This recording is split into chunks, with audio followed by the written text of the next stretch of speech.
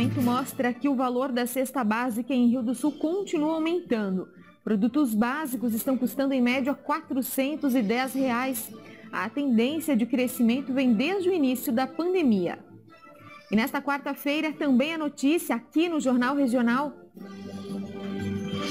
O Hospital de Tuporanga retoma visitas aos pacientes internados na UTI. Indicados em sessão os membros da comissão especial do segundo pedido de impeachment contra o governador Carlos Moisés e a vice Daniela Rainer. Você vai conhecer um casal que está completando hoje 70 anos de casados. Em Santa Catarina, a nova ferramenta já permite consulta de valores repassados a hospitais do estado. Polícia Militar Rodoviária lança programa de fiscalização por drones.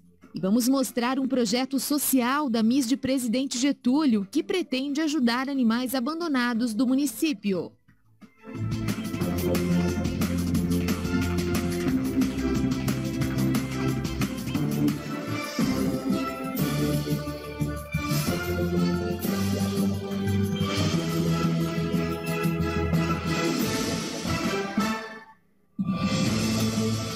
Olá, bom dia, boa quarta-feira. Abrimos o JR hoje com informações referentes à política estadual.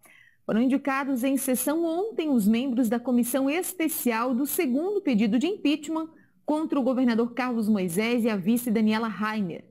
O grupo agora vai analisar a denúncia de um possível crime de responsabilidade na compra dos 200 respiradores e outras atitudes tomadas em meio à pandemia de coronavírus.